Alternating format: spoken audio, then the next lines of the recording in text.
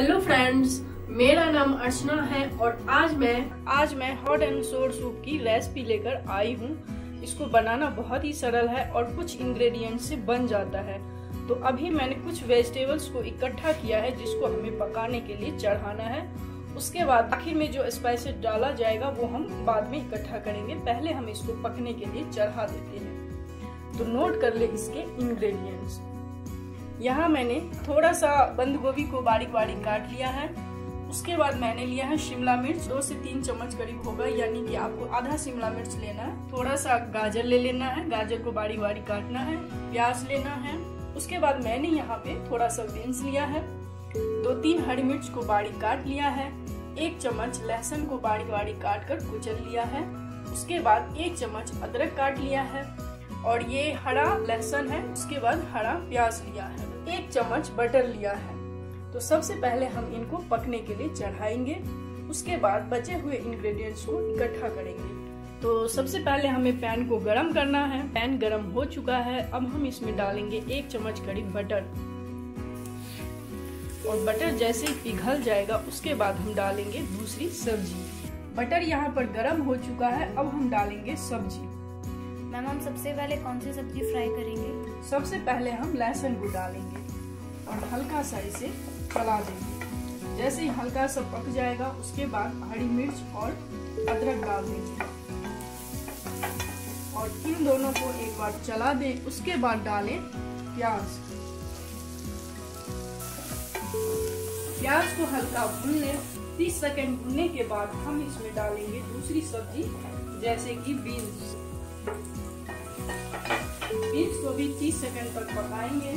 Beans भी हल्का पक चुका है, अब हम डालेंगे इसमें शिमला मिर्च। शिमला मिर्च के बाद डाल दें गाजर और बंद गोभी।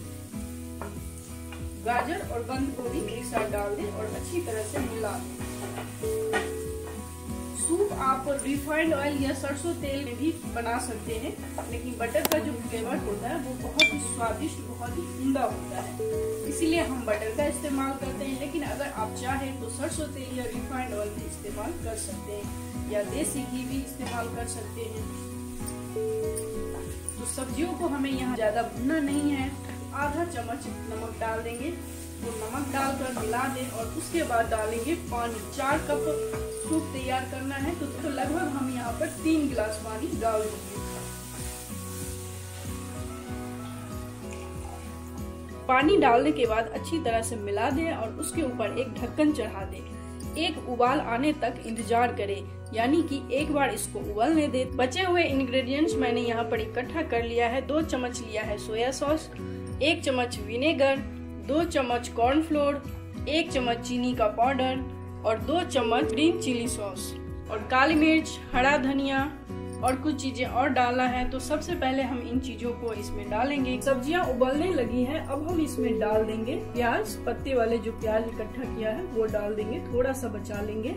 आखिर में डालेंगे और लहसुन डाल देंगे, पत्ते वाले लहसुन। और इसके बाद कॉर्न स्टार्च को घोल कर डालेंगे मैम सूप में कॉर्न स्टार्च डालना ज़रूरी होता है? हाँ हाँ। कॉर्न स्टार्च तो डालना ज़रूरी होता है क्योंकि हम जो आज सूप बना रहे वो हॉट एंड सोर है। हॉट एंड सोर में थोड़ा सा कॉर्न स्टार्च दो चम्मच करीब घोल कर डालना ज़रूरी होता है।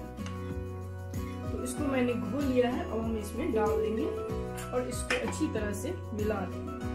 नमक तो मैंने पहले ही इसमें डाल दिया है तो अब हम इसको एक बार उबलने देते हैं। उसके बाद हम डालेंगे इसमें soya sauce and chilli sauce ma'am soya sauce कितना डालना ज़रूरी होता है? पाँच बॉल आप सूप बना रहे हैं तो उसमें दो से तीन चम्मच डाल सकते हैं मैम एक बार क्या हुआ था मैं सोया सॉस डाल रही थी और उसमें सूप में बहुत ज़्यादा डल गया था तो उसका फ्लेवर बिल्कुल ख़राब हो गया था। जब मैं टीन एज में सूप बना रही थी तो विनेगर बहुत ज़्यादा डल गया था। मैं बॉटल से ही ऐसे डाल रही थी और वो छह सात चम्मच करीब डल गया था तो वो मेरा सूप पूरा ही खराब हो गया मतलब बहुत ही ज़्यादा खट्टा हो गया था। विनेगर तो बहुत ही हिसाब से डालना होता है। सोया सॉस हम दो से तीन चम्मच डाल सकते हैं तो सोया सॉस यहाँ पे डाल देंगे और इसको अच्छी तरह से मिला देंगे। सोया सॉस डालने के बाद डाल देंगे विनेगर और उसके बाद हम डालेंगे चिली सॉस। चिली सॉस मैंने यहाँ पर दो चम्मच लिया है, ग्रीन चिली सॉस, वो भी डाल देंगे। डालने के बाद अच्छी तरह से मिला देंगे। उसके बाद हम मीठा करने के लिए हॉट एंड सोर सूप है, उसको मीठा करने के लिए डालेंगे आधा चम्मच चीनी या एक चम्मच चीनी का पाउडर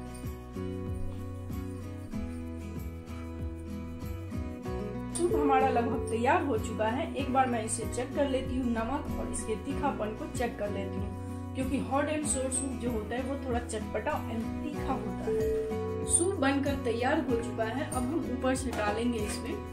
थोड़ा सा जो मैंने हरा प्याज बचा कर रखा था, वो डाल देंगे। और उसके बाद डालेंगे हरा धनिया।